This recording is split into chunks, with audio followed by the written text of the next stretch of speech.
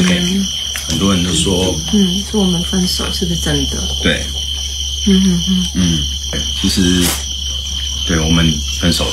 叶小贤和金刚两人直播中正式宣布分手，晚间边吃晚餐边跟粉丝们说明两人分手原因，但才刚起头，金刚就忍不住泪崩。哎，还觉得说 很坚强哦，结果还是，对啊，还是这样，但是没有关系，我觉得。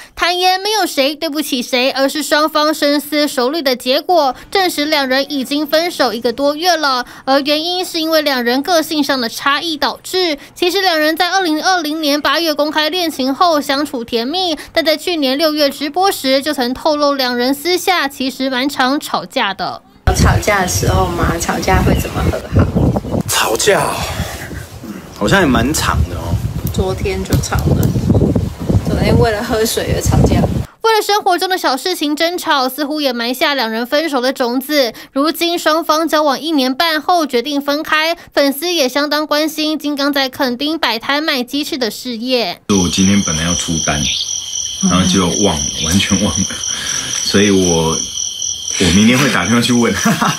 如果 要讲吗？要讲吗？什么东西？对不起，我现在已经 我不能再插手。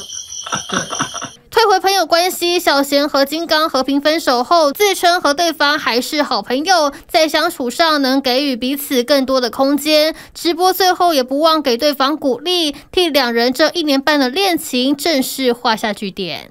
TBS 新闻南部综合报道，请支持一个专门报道国际新闻的全新 YouTube 频道 TVBS 国际 Plus，扩大视野，掌握趋势，请订阅并开启通知小铃铛。